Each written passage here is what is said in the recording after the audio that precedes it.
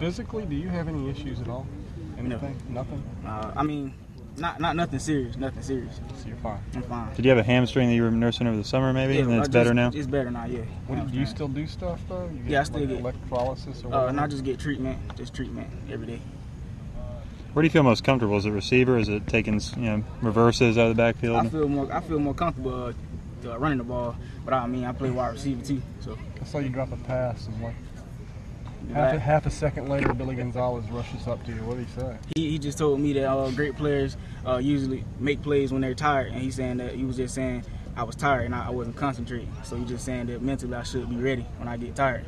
Any staff talk to you about your first step, comparing it to uh, Percy's or anything like that? You know, they, they kind of stay away from it ever since I kind of told them I don't want to be compared to them. so, they don't say, So let me get this straight. much. You don't want to be compared to Percy, and yet you say, "Yeah, I kind of see. I look a lot like him." Yeah, I mean, I just don't want to be like the ne- you. You the next person. That's all I don't like to hear. The next person. I don't. I don't like to see. I don't like to hear that.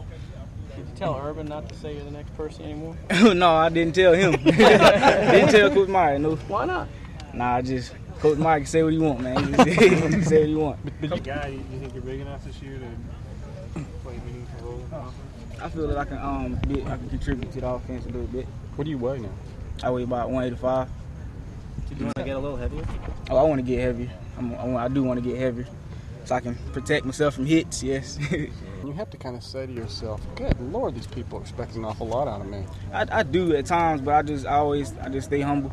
Uh, can't let the let can't let it get to my head, and, it kind of drives me because I, I mean I don't want to let too many people down. Did Urban ever like sit you down and say, "Hey, remember you're a freshman.